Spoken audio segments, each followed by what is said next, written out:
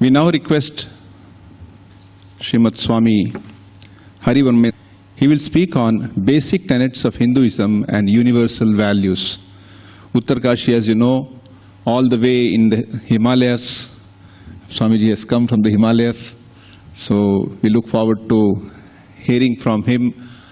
Uttarkashi is a place of Vedanta studies, and we are happy to have an Acharya from there.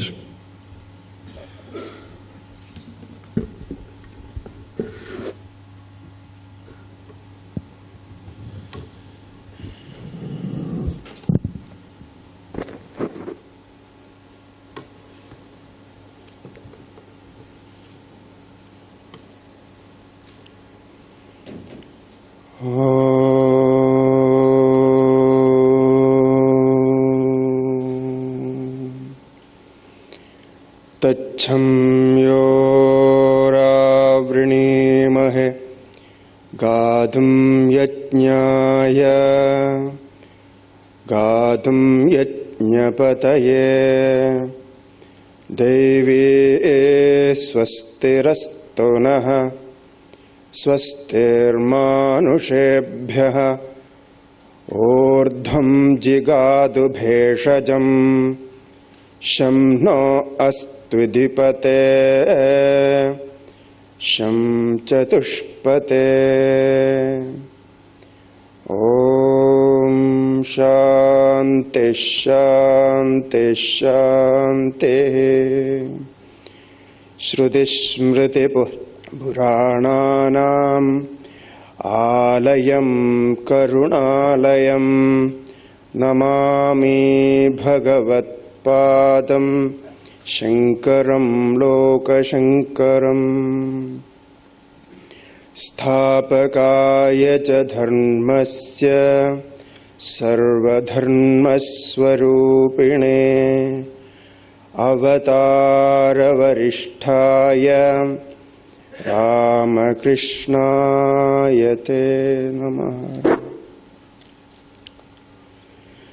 श्रीगुरुभ्यो नमः। Respected swamis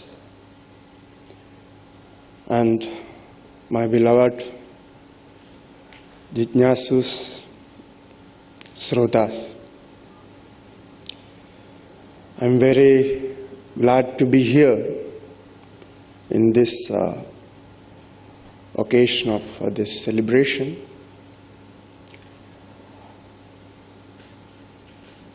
Because it all started from the words of Thakurji in my life. Because whenever I go to any function in Ramakrishna Mission or Matha, I remember this. In 1989, when I was uh, just 11 year old boy, I got a small book of Paramhamsji from a shop where I used to buy my comic books, you know, in that age. So I got this book, seeing his uh, portrait in that small book. I was uh, really attracted. I felt that I know this man before. Actually, first time I was uh, seeing his portrait in that. Then, whatever uh, little money I had, I purchased that book, and that day I left uh, not uh, purchasing any other comic book. I took this book. It was in Malayalam. Then I read that book in the night itself. It was like uh, maybe 60 65 sayings of uh, Paramahamsaji Thakurji. And the whole night I completed that book. So from there, since then, I was uh, attracted and I was always uh, reading the books. I used to visit Ramarshna mission in Trivandrum as well as in Puranatukara. So from there, actually, my spiritual life started. So then I happened to go to Himalayas and studies with uh, uh, gurus there, my uh, masters. And since then, yeah, for 30 years, I'm there. So, very good uh, subject what we are discussing on.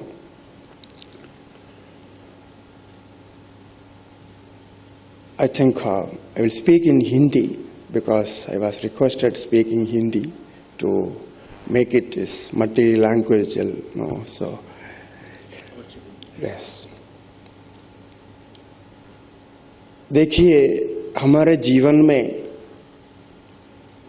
क्या चाहिए हमें? क्या हम जीवन में चाहते हैं?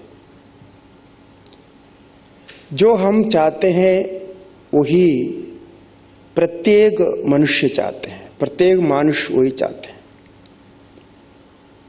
इतना ही नहीं, प्रत्येक प्राणी वही चाहते हैं। जिसको हम प्राणी नहीं कहते हैं जो पेड़ पौधे आती हैं, वे भी वही चाहते हैं। वो है सुख और शांति। अब पूरे लाइफ में देखेंगे, ये सुख और शांति की जिज्ञासा के अलावा, उसकी अन्वेषणा के अलावा और कुछ प्राप्त नहीं होता। तो हम जब चाहते यही है, ये सुख और शांति के लिए हमें कई तरह की मदद मिलती है। जैसे जो हमारे एसेंशियल नीड्स है, भोजन है, रहने का स्थान है, इसी प्रकार और जीवन में जो और चाहिए, ये सब उसी उद्देश्य से है।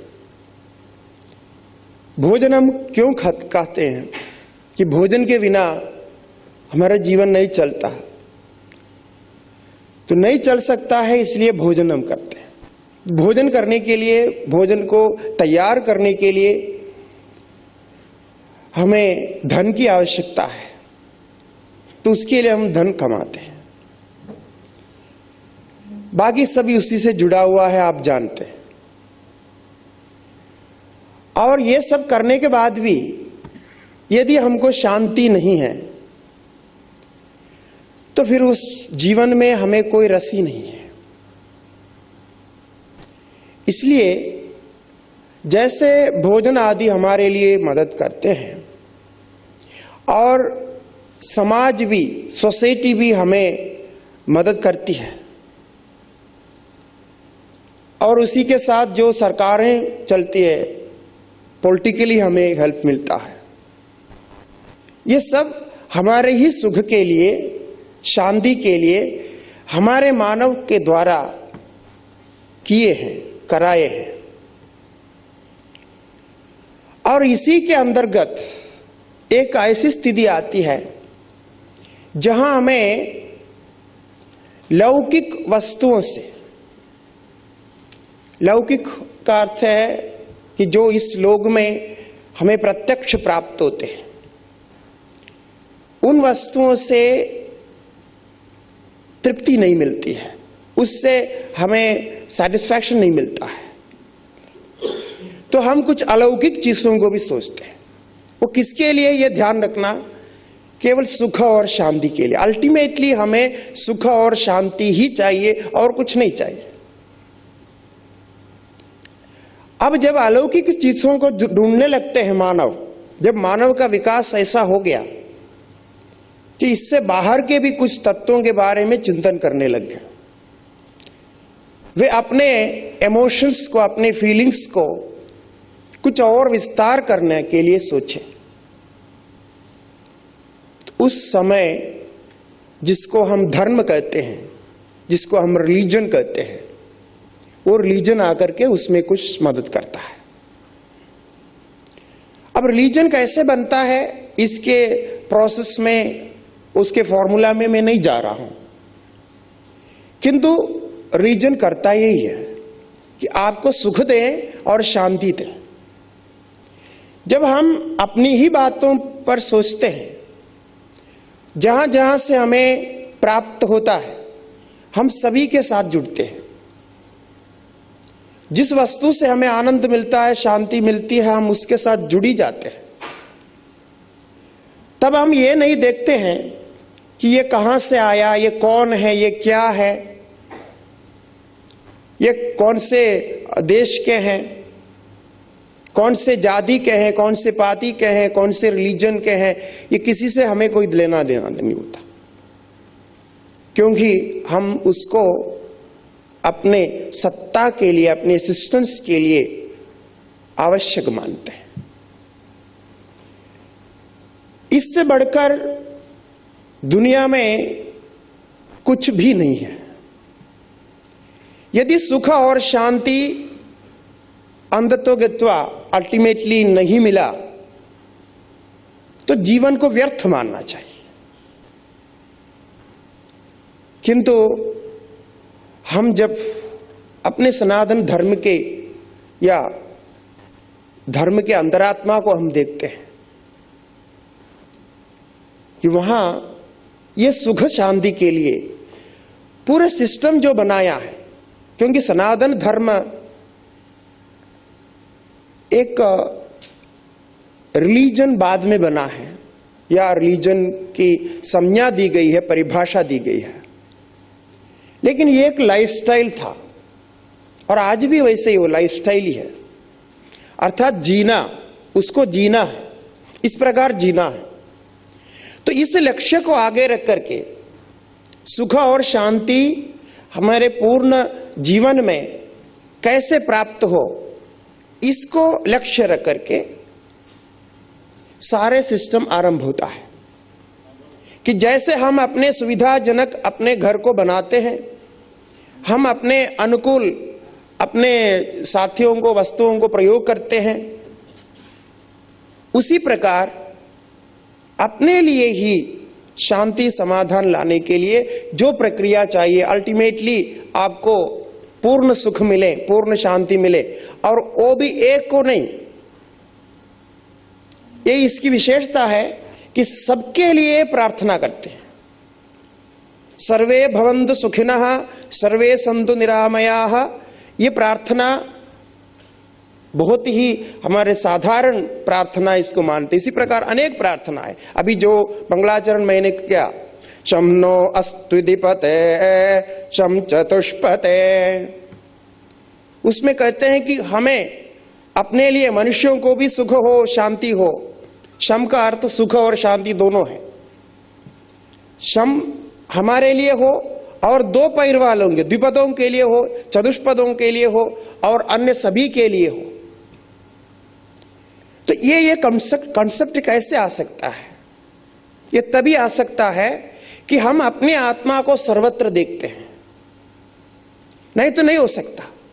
कल जैसे आपने यहाँ सुना होगा कि अपने लिए जो कुछ हम मांग मांगते हैं, अपने लिए जो इच्छा करते हैं। वो क्यों करते हैं? क्योंकि आप ही अपने लिए अति प्रिय होते हैं। सर्व प्रियतमत्वात ये कहते हैं।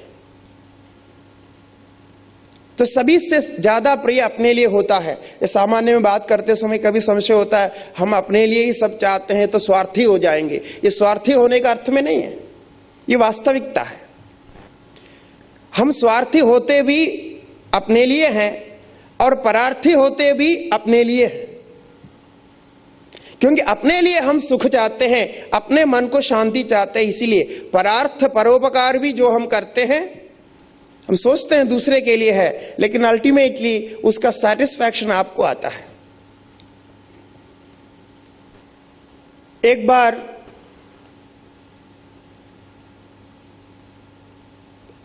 एक घटना है कि हम अपने जीवन में दूसरे के लिए जो भी मदद करते हैं, हम सोचते हैं वो दूसरे के लिए हम सहायता करें, क्योंकि हमारी दृष्टि से कोई दीन नहीं होता, कोई हीन नहीं होता। जो आत्मा, जो सत्य, जो एक्सिस्टेंस आपको सब कुछ दे रहा है, दे रही है, वही एक्सिस्टेंस इस सब दुनिया को चलाती है। लेकिन हम अपने लिए तृप्ति पाने के लिए, हमारे यहाँ कहा गया कि जो सोशल सर्विस होता है, वो स्वयं के तृप्ति, स्वयं के आत्मा को विस्तार में दे करके स्वयं की तृप्ति करने के लिए है। अर्थात स्वयं ही सर्वत्र है। इसलिए आत्मवत सर्वभूतानी, ये कहा गया। अब्राहम लिंकन अमेरिका के प्रेसिडेंट थे, आप जानते हैं। एक दिन वे अपने ऑफ़िस के ओर जा रहे थे।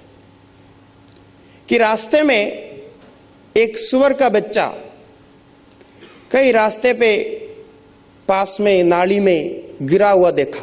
वो अपने पहले की जो घोड़ा सवारी है, वो गाड़ी उसी पे जा रहे थे ऑफ़िस की ओर।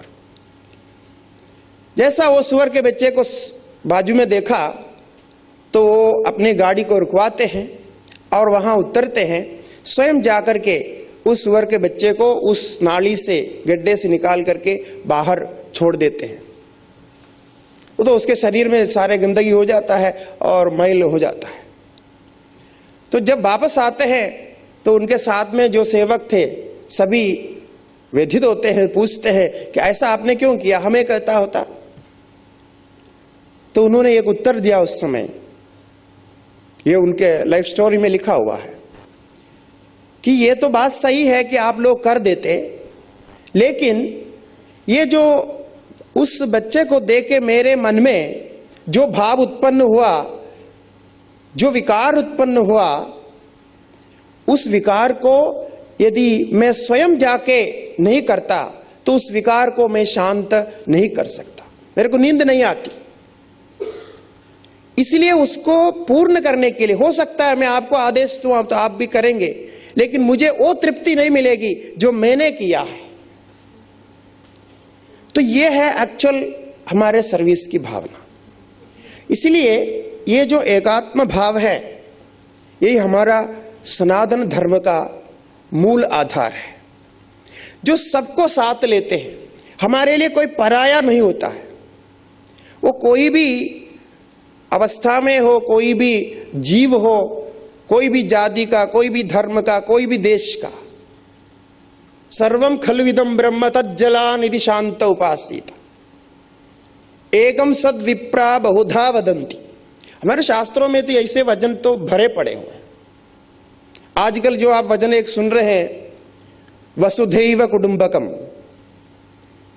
ये वसुदेव कुटुंबकम एक वेद वाक्य का ही अर्थ है, जो पंचतंत्र नाम के ग्रंथ में आया है। लोग इसको वेद वाक्य समझते हैं, लेकिन ये साक्षात वेद वाक्य नहीं है। पंचतंत्र नाम की एक कथा पुस्तक है। आप जानते हैं, हम लोग बचपन में इसको पढ़े तो उसके ये वचन है, वसुधैव कुटुंबकम। यानी सारे ये वसुधा, ये धरती, ये सृष्टि एक कुटुंब के समान है। तो अपने कुटुंब में जो भाव हमें होता है, वही भाव इस सृष्टि पे होना चाहिए। ये भाव से कहते हैं तो यत्र विश्वम भवत्येक नीटम ये यजुर्वेद का वचन है। इसी के आधार पर हम कहते हैं कि वसुधैव कुटुंबकम। तो ये कब हो सकता है? जिसको लेकर के स्वामी जी ने अपने वचनों में निरंतर प्रकट किए, शिकागो के अपने भाषण में भी इसी को प्रकट किए। तो एक युग परिवर्तन इसी के अनुसार होना चाहिए।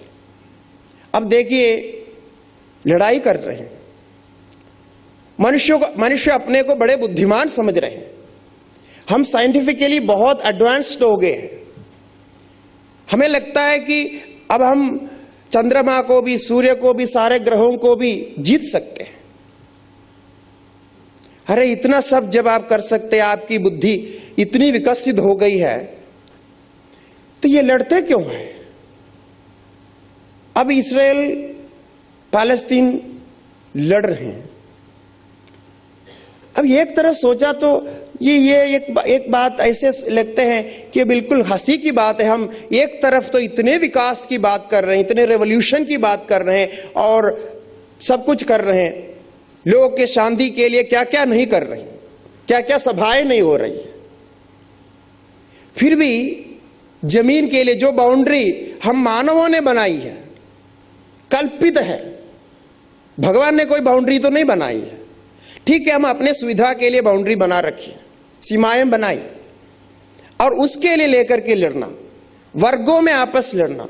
तो हमारी बुद्धि विकास क्या है, हमारा एजुकेशन क्या है बताइए कि एजुकेशन ये सिखाता है कि आप ऐसे कल्पना को लेकर के लड़े।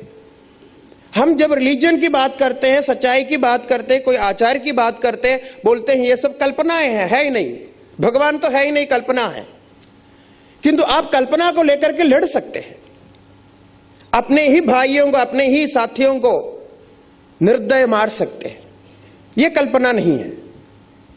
कितना आश्चर्य है, देखिए। और ये इसीलिए है कि हमारे अंदर मनुष्य के अंदर ये जो भावना है, ये एजुकेशन के द्वारा जाना चाहिए। मैं हमेशा कहता रहता हूँ कि कहीं ना कहीं ये प्रॉब्लम हमारे एजुकेशन में ही है। ये भी एक बहुत प्रशस्त, प्रख्यात इंस्टीट्यूशन है। तो क्या ये लड़ने वाले सारे, अब जिसको ऑफिसर्स है, उसके जो मंत्री है, उसके जो पदाधिकारी है, ये क्या अनपढ़ है क्या? इनको कोई एजुकेशन नहीं हुआ। तो एजुकेशन हुआ है तो क्या एजुकेशन हुआ? आपको लड़ाई सिखाई गई। तो आप देखिए मैं क्यों इस बात को कह रहा हूँ। क्योंकि एजुकेशन ही एक व्यक्ति को व्यक्ति बनाता है, उसके बुद्धि में सब कुछ स्थापित करने वाले एजुकेशन होता है। और इस समय उसकी बहुत महत्ता है। तो इसलिए एजुकेशन में ये जो सिद्धांत है, एकात्मवाद once at least by theory at least by theory उनको मालूम होना चाहिए। देखिए, ऐसी भी एक भावना है, ऐसी भी एक तल है, जहाँ हम सबको एक्सेप्ट करके सभी के अंदर एक ही ईश्वर को, एक ही आत्मा को, एक ही असिस्टेंस को, सच्चिदानंद को दे करके हम अपने जीवन चला सकते हैं। इसमें जीवन में कोई बाधा नहीं आएगी। कुछ लोग समझते हैं ये सब जो है फिलोसफिकल बातें हैं थियोरिटिकल हैं, इसका कोई प्रैक्टिकल वैल्यू नहीं है, हमारे जीवन में इसका कोई काम नहीं है। लेकिन वास्तविकता ऐसा नहीं। जैसा मैंने कहा, यदि जीवन में पूर्ण शांति को आपको प्राप्त करना है इन वैल्यूज़ को अपनाने चाहिए। यही ये वैल्यू एजुकेशन में आ जाए। किसी भी प्रकार आप एजुकेशन में लाएँगे तो अवश्य ही एक भावना ऐसी बनेगी। अन्यथा अब देखिए जितने भी साइंटिफिक रिसर्च होते हैं इन्वेंशन होते हैं, आप उसके हिस्ट्री देख के एक एक इन्वेंशन का हिस्ट्री देखिए, कहाँ शुरू होता है ये? ये पहले आर्मी के लिए होते हैं। सारा इन्वेंशन के जो पूर्व स्थिति है, वो देखेंगे तो ये पहले आर्मी में प्रयोग करते हैं। अभी जब मोबाइल फ़ोन हम प्रयोग कर रहे हैं, कंप्यूटर प्रयोग कर रहे हैं तो कुछ भी, आपके घर के सामान, जैसे फ्रिज है, रेफ्रिजरेटर है, ये सब कहाँ से शुरू हुआ? किसके लिए शुरू हुआ? आर्मी के लिए शुरू हुआ। तो मतलब क्या है? मतलब यह है कि जितने भी देश हैं ये सारे पूरे दुनिया, ये आर्मी को इतने इंपॉर्टेंस देते हैं और आर्मी के लिए सब कुछ निछावर करते हैं और उस पैसा को यदि अन्य प्रकार से मनुष्य के लिए प्रयोग करें, प्रयोग करने की कोई व्यवस्था बने तो कितना अच्छी बात होगी। अब पूरे वर्ल्ड के इकोनॉमी निकाल करके देखिए, उसमें मुझे लगता है 40 से 50 प्रतिशत धन केवल आर्मी की रक्षा के लिए जाते हैं और ये हथियारें बनाने के लिए डालते हैं। आर्म्स बनाते हैं। अच्छा आर्म्स बना के रखा तो फिर शांति होगी क्या? तो कितने कॉन्ट्रडिक्टरी देखिए। ये कैसे हो सकता है कि ये आप एक तरफ़ आर्म्स बना रहे हैं, उसके लिए सारे पैसा लगा रहे हैं और दूसरे तरफ़ शांति की वार्ता कर रहे हैं? ये कॉन्ट्राडिक्टरी कॉन्फ्लिक्ट हमारे सभी के दिल में हम नहीं जानते हुए भी बैठा हुआ है। नहीं जानते हैं क्योंकि ये हमारा सबकॉन्शियस माइंड पे चला गया है। हम जब भी घर बनाते हैं, सबसे पहले घर में एक गेट लगाते हैं और उसके दीवारें बाउंड्री वाल बहुत स्ट्रांग बनाते हैं। ये आवश्यक है कि अनावश्यक है, ये नहीं सोचना है, लेकिन वो हो गया है। यही मैं बोल रहा हूँ, हमारे सबकॉन्शियस माइंड में बैठा हुआ। यदि वो नहीं बना, आप सोचिए, यदि एक दिन आप रात को गेट बंद किए बिना, ताला लगे, लगाए बिना सो गया, समझिए। आपको कितना टेंशन होगा दूसरे दिन? तो ये क्या हम मनुष्य नहीं है कि हम मनुष्य समूह में नहीं रह रहे? हमें दूसरे मनुष्य से इतना डरना क्यों? है हम क्यों कोई जंगल में तो नहीं रह रहे हैं जहाँ शेर हाथी और ऐसे जानवर है जो अपने बुद्धि से काम नहीं करते, अपने संस्कार से काम करते हैं, वो आकर के अटैक कर सकता है? ऐसे जगह पे तो नहीं रह रहे।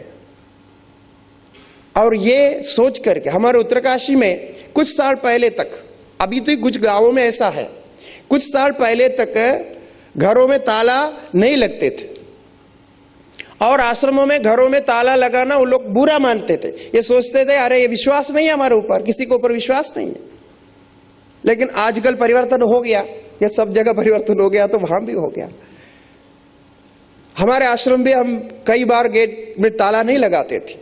लेकिन पिछले कुछ समय से लगाना पड़ रहे हैं, उसका ऐसी स्थिति हो गई।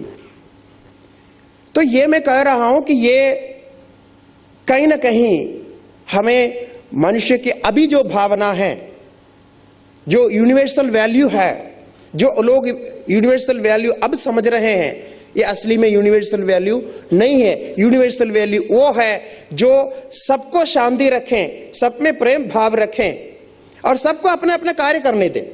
इसका यह नहीं है कि सब एक जैसा कार्य करें। यह कभी नहीं कहना है। यह हमारा सनातन धर्म में ऐसा विचार है ही नहीं। जैसा अभी कहा, विविधता को एक मान करके चलने की क्षमता है। और यह एक बहुत बड़ी शक्ति होती है। ये सबको एक जैसा ही आचरण करना चाहिए, एक जैसा लाइफ लीड करना चाहिए, एक ही तरफ़ खाना खाना चाहिए, ऐसा होता नहीं। उसको हम एकात्मता नहीं कहते हैं। हमारे यहाँ एकात्मता का अर्थ है, आत्मा एक है। उसके अनेक रूप बाहर दिखते हैं। वो अनेक रूप में एक एक रूप में भी आत्मा पूर्ण है। देखिए कितने ऊँची बातें हैं। जितने आत्मा आपके अंदर पूर्ण है, जितने भगवान आपको आशीर्वाद देते हैं, उतने ही भगवान एक चिंडी को भी आशीर्वाद देते हैं, चिंडी के अंदर भी आत्मा उतनी ही है। यह पूर्णता है। इसलिए पूर्णमद पूर्णमिदम पूर्णात पूर्णमुदश्चते। ये वेद का और एक उद्घोष है। कि संपूर्ण पूर्णता यहाँ है। इसलिए आज के ये एक ही हम विषय पर ध्यान दें कि हम यूनिवर्सल वैल्यू को कहाँ से शुरू कर सकते हैं। मुझे ये नहीं लगता मैं कभी ऐसा मैं पूर्ण विश्वास कभी नहीं करता हूँ कि हम इस प्रकार के मैंने कॉन्फ्रेंसेस करेंगे, इस प्रकार की बड़ी बड़ी सभाएँ करेंगे, हम भी साल भर यही कुछ कार्य करते रहते हैं। इससे पूर्णतः परिवर्तन होगा। पूर्णतः परिवर्तन करना है तो इन आशयों को, ये जो वैल्यूज़ है यूनिवर्सल वैल्यूज़ है, उसको एजुकेशन में उतारना है। मैंने बच्चों को बच्चों, सिखाना है। और आप यहाँ से शुरू करेंगे तो पूरा वर्ल्ड में वो आ जाए।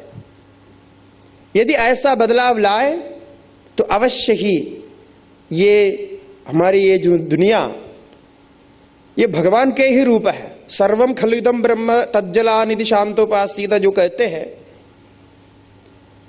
उसका अर्थ यह है कि ना केवल हम भगवान के हैं, हम भगवान के रूप है, हमारे अंदर भगवान है, अपितु तो सभी के अंदर भगवान है। The all pervading existence the all mighty उसके जो एक्सिस्टेंस है, वो कण कण में है। ये भावना यदि आ जाए तो आप अपने रीति रिवाज, अपने धर्म के, अपने नियम के अनुसार आप आराम से अपना जीवन चला सकते हैं, लेकिन ये प्रेम भावना रखिए। आप देखिए कितने दुनिया में बचत हो जाएगा। यदि इस प्रकार लोग आपस में विश्वास करके क्योंकि भय सर्वत्र फैला हुआ है। जैसा मैंने कहा, हम रात को नीडर होकर के सो नहीं सकते। हमें बहुत कुछ करना पड़ेगा कि हम अपनी सुरक्षा के लिए सब करते हैं। किससे हम सुरक्षा चाहते हैं? तो इसीलिए ये जो भावना है, यदि हम इसको समझेंगे तो हमारे दुनिया में बहुत बड़ा परिवर्तन आएगा। और जो ओनस थियरी जिसको लेके हमारे परंपरा में बड़े बड़े आचार्य रेवोल्यूशनरी आचार्य आए हैं और उन्होंने अपने अपने तरीके से, उस समय के अनुसार सब करके गए हैं। अब हमारे पास सब टेक्नोलॉजी प्राप्त है, सब व्यवस्था प्राप्त है। यदि हम दिल से, दिमाग से इसके लिए आरंभ करेंगे, मुझे आशा है कि कुछ साल में दुनिया में परिवर्तन आएगा। हम ऐसे ये फालतू होने वाले ये वारों को रुक पाएँगे। इसका क्या सिद्धांत है? ये उनको समझाए कि क्यों आप लड़ते हो?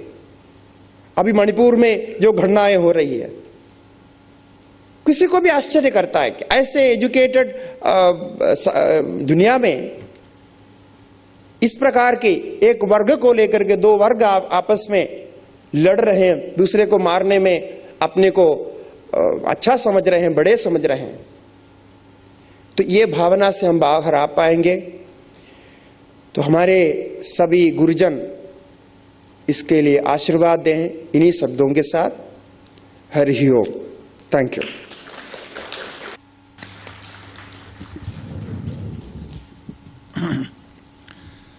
सुख, शांति, जीवन की अल्टीमेट रिक्वायरमेंट है इस बात को लेके अभी अभी हमने स्वामी हरि ब्रह्मेंद्र तीर्थ जी महाराज से एक अत्यंत ही रोचक और बहुत से विचारों को लेके जो अपनी वाणी रखी, उसके लिए हम उन्हें धन्यवाद देते हैं और thanks to Swami ji for his very insightful talk on the basic tenets of Hinduism and universal values.